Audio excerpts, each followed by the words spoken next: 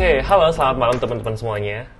Kali ini gue pengen bahas tentang VLOOKUP dan index match. Jadi uh, di video sebelumnya itu tuh banyak sekali perdebatan antara index match dan VLOOKUP. Nah, di video ini gue bakal coba membahas, mengupas tuntas segala tentang VLOOKUP dan index match. Apa kelebihan masing-masing dan sebaiknya kita pakai yang mana. Tapi sebelum itu, kita akan coba jelaskan sedikit ya. Kita akan refresh di sini penggunaan VLOOKUP dan index match yang biasa kita lakukan pada saat pengolahan data. Gitu. Oke, sekarang uh, di depan saya udah ada dataset outlet ya. Jadi di sini ada ID outlet, nama outlet, telepon, alamat, kota, dan nama kontak. Standar lah ya, standar dataset. Nah di sini uh, kita bakal diminta buat nyari nama outlet berdasarkan dua value data atau dua dua data. Yang pertama kita akan mencari berdasarkan ID-nya. Yang kedua kita akan mencari nama outlet berdasarkan nomor teleponnya. Kalau gitu kita mulai dulu dari VLOOKUP. Jadi VLOOKUP ini gambarannya adalah kita nyari data, data mana yang kita cari, terus kemudian nanti uh, kita bakalan diminta buat ngasih tahu dia nyarinya di data mana. Jadi kita bakalan diminta buat nanti nge-select uh, range, istilahnya range itu adalah uh, range mana yang mau kita cari yang nanti range yang paling kiri uh, itu tuh harus da, harus berupa kolom yang datanya ingin kita cari gitu. Oke, okay, biar lebih jelas, uh, kita akan langsung masukkan rumusnya saja. Jadi contoh untuk yang nomor pertama ini kita mau nyari ID yang 20165. Kita masukkan sama dengan terus kemudian kita masukkan VLOOKUP setelah itu nah di sini kan ada tuh kalau teman-teman lupa itu bisa lihat aja di bawahnya sini itu ada kayak uh, bantuannya. Jadi yang pertama adalah lookup value. Lookup value itu maksudnya adalah value yang bakal dicari atau di lookup gitu. Karena kita yang mau cari adalah ID ya udah kita akan klik di sini ID-nya terus kemudian ada yang namanya table array. Nah table array ini tadi yang aku maksud uh, kayak range yang bakalan kita cari datanya gitu jadi uh, kalau di sini berarti kita geser ke kiri tadi. Ini kan ID yang mau kita cari. Pasti pastikan kalau kita select datanya ID yang paling kiri gitu. Nah, kebetulan ini karena datanya cukup banyak ke bawah ya dan aku malas kayak nge-select kayak gini gitu ya. Jadi aku lebih prefer langsung klik uh, kolomnya aja. Jadi kita bisa langsung tadi kan A, ID outlet ya A, terus kita mau nyari nama outletnya, berarti nama outletnya B kita select semuanya. Terus kemudian nah itu tadi. Pokoknya uh, yang mau kita cari itu harus ada di paling kiri. Dan yang dicari itu harus yang di kanan. Kayak gitu. Terus kemudian setelah select table array-nya terus kemudian kita select kolom index number. Kolom index number ini maksudnya kayak kolom keberapa kita mau keluarin nilainya. Cara ngitungnya gimana? Nah ini kolom satu ini kolom dua. Berarti kalau kita mau ngeluarin B berarti kita bakalan keluarin kolom dua kita masukin aja dua. Terus kemudian yang ketiga itu sebenarnya ini kayak dia approximate match. Itu maksudnya adalah kalau semisal kayak dia nggak nemu datanya dia bakalan nyari data yang terdekat atau yang exact match. Yaitu yang datanya itu dia emang beneran sesuai dengan apa yang dia cari. Kalau nggak ketemu ya udah dia bakalan nulisin kayak nggak ketemu datanya kayak gitu. Nah kita akan pakai uh, exact match. Dan biasanya ini juga kita bakalan tetap pakai exact match sih. Jarang kita pakai yang approximate match gitu jadi kita langsung bisa false.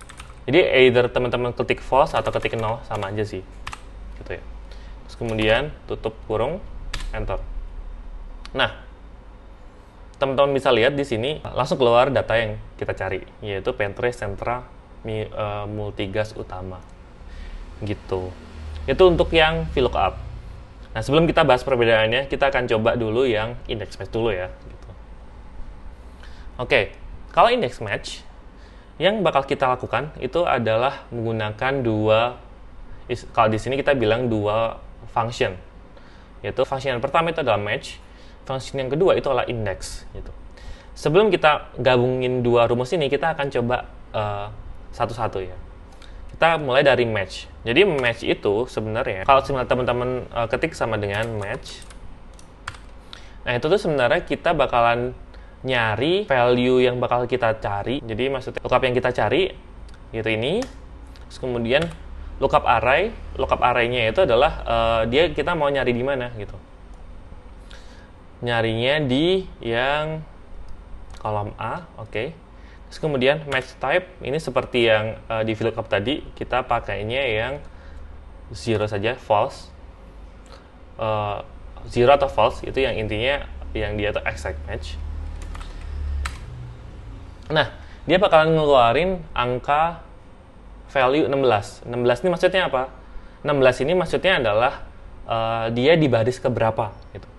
Jadi kalau teman-teman lihat di sini 16 berarti dia ada di baris nomor 16 cara ngeliatnya di nih 1 2 3 4 5 6 7 8 9 10 11 12 13 14 15 16 20165 20165 bener kan dia adalah istilahnya uh, baris ke 16 nah ini kita bisa gabungan dengan rumus indeks. Jadi rumus indeks itu sebenarnya rumus apa sih? Nah, indeks itu kalau teman-teman coba di sini, indeks.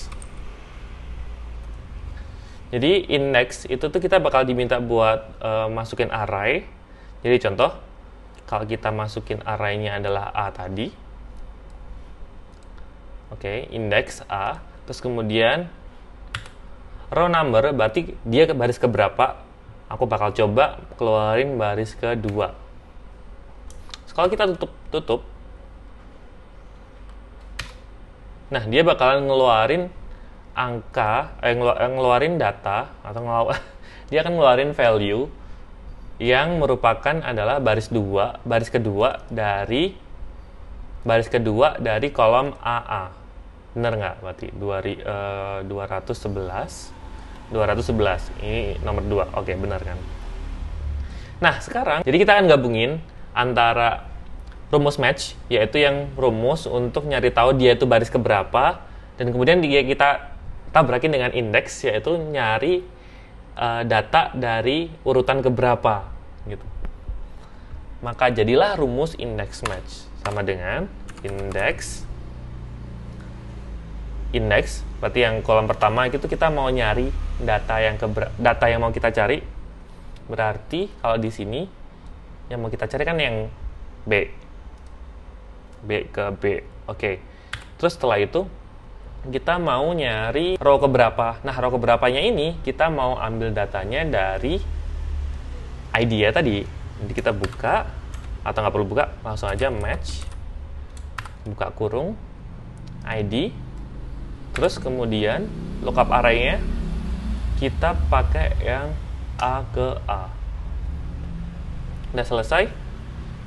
Ini sebenarnya kita bisa masukin false ya di sini ya. Ini biar untuk memastikan.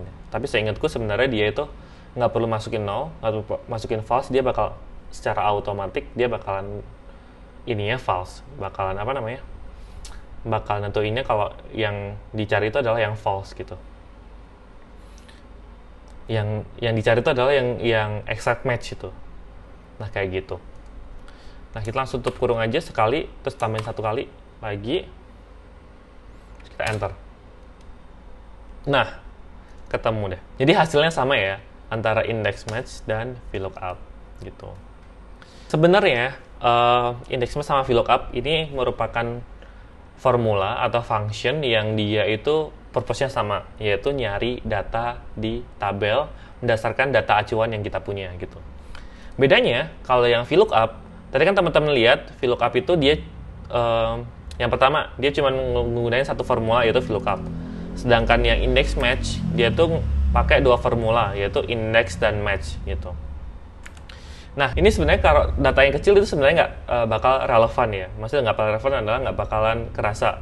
Tapi kalau datanya gede itu tuh index match itu dia bakalan membutuhkan processing power yang dua kali lebih besar daripada VLOOKUP karena dia menggunakan dua function. Nah makanya uh, di sini sebenarnya kalau untuk urusan processing power paling efisien itu adalah VLOOKUP gitu ya. Tetapi seperti yang teman-teman tahu, VLOOKUP itu dia cuma bisa nyari data yang sebelah kiri, terus data yang dicari sebelah kanan gitu. Sedangkan untuk yang index match itu sebenarnya bebas. Kalau teman-teman mau nyari yang uh, dari kanan ke kiri atau kiri ke kanan, dia bakalan bisa. Mungkin untuk yang poin kedua kita bisa contohin di uh, rumus bawahnya sih. Jadi kita Contoh nih di sini nih, ini kan ada telepon. Nah kalau telepon jelas ya, telepon kan dia di sini di, di kanan. Terus kemudian nama outletnya itu ada di sebelah kiri. Uh, jadi kita nggak bisa pakai VLOOKUP. Biasanya kalau yang kayak gini, yang bakalan aku lakukan adalah, aku kan bakal nyari ini nih uh, nama outlet. Biasanya nama outlet ini aku copy semuanya, terus aku paste di akhir dataset gitu. Yang nantinya kalau aku pakai VLOOKUP, sekarang aku jadi bisa gitu. Nah, uh, mungkin itu trik trikku ya. Trikku kalau misal aku nggak mau pakai index match, aku maunya pakai uh, VLOOKUP. Jadi aku pakainya yang seperti itu. Tapi jatuhnya juga nggak efisien karena pada akhirnya kalau kita copy paste datanya ke sebelah kanan atau kita pindahin data ke sebelah kanan itu yang pertama itu kalau kita pindahin doang itu bakal ngerusak datanya. Yang kedua kalau misal kita emang copy paste datanya berarti itu kan sama aja duplikat dong. Nah itu bakalan nambah-nambahin memori atau nambah-nambahin penyimpanan gitu ya karena dengan kita nambahin paste di sebelah kanannya berarti data kita akan makin besar dan itu juga nggak efisien karena datanya sebenarnya duplikat gitu makanya kita pakainya index match. Nah jadi kayak gitu mungkin kita bakal ngelakuin sekali lagi ya. Jadi kalau di sini karena dia adanya anggaplah adanya cuma telepon ya ya udah sih. Aku bakal pakai telepon VLOOKUP koma lookup value-nya ini kemudian tabel array-nya. Nah ini tabel array aku bakal langsung select aja semuanya dari telepon ke nama outlet nah karena nama outletnya yang di G ya bukan yang di yang di B tadi ya. Terus kemudian uh, index column numbernya kita pakai berapa nih berarti nih? 1, 2, 3, 4, 5 5 terus 0 karena kita maunya exact match. Kita oke okay. oke okay, sebentar ini ada yang salah nih. Jam 4 CG triangle up. Oh ini ini ada titik koma di depan nih. Kita hapus saja. Oke. Okay. langsung keluar datanya. Dan untuk di kebawahin kita tinggal tarik aja ke bawah. Oke okay, ada motor nih. Oke okay, uh, eh, udah nih tarik ke bawah kemudian rumusnya bakalan langsung ngikut ke bawahnya oh ya nanti mungkin di komen ada yang tanya dam itu bukannya harusnya dikasih anchor ya? Masih dikasih anchor adalah dikasih tanda S ya biar nashnya itu tidak tidak ngikut ke bawah gitu. Nah ini tuh kita nggak perlu pakai anchor nggak perlu pakai dikasih anchor dikasih S itu tanda dolar itu karena apa? Karena ini yang aku select adalah uh, range. Dan aku bakalan ngambil apa? Dan aku ngolah datanya itu ke bawah jadi ketika uh, range kolom ini yang aku select gitu dia bakalan nggak ada nggak ada row numbersnya. Kalau teman-teman lihat berarti ini bukan C 1 sampai G X G berapa gitu nggak. Tapi ini adalah C sampai G. Yang nantinya ketika aku tarik ke bawah ya itu nggak akan berpengaruh ke range-nya. Karena emang aku range-nya itu kayak semua baris ke bawah itu aku ambil gitu. Aku aku apa namanya aku select semuanya gitu. Nah kayak gitu ini sebenarnya males sih karena ya aku nggak tahu sih tapi uh, ada temanku yang bilang kalau semisal kita pakainya yang semua kolom kayak gitu itu bakalan bikin lebih berat. Tapi menurutku selama pemakaianku aku nggak ngerasa terlalu memberatkan sih. Justru malah dari aku sendiri kayak aku ngerasa dengan kita pakainya yang kolom semuanya langsung itu jadi lebih efisien. Jadi kita nggak perlu kayak select ke bawah semua kayak gini terus habis itu kita encor kayak gitu nggak perlu nah kayak gitu. Oke kalau untuk index match kita nggak perlu pakai kolom G kita bisa langsung sama dengan index. Terus abis itu arraynya yang mau kita cari jadi kita ambil data yang B. Terus kemudian kita cari ininya row numbernya berarti kita pakai match habis itu kita mau pakai lookup array. Lookup arraynya berarti ini telepon. Terus lookup value. Tadi lookup value ya sorry. Lookup value nya telepon lookup arraynya adalah telepon yang ini. Oke. Okay. kemudian match type pakai 0 karena kita mau exact match. Oke, nah di sini sebenarnya kayak teman-teman tuh bisa ngasih kolom number gitu.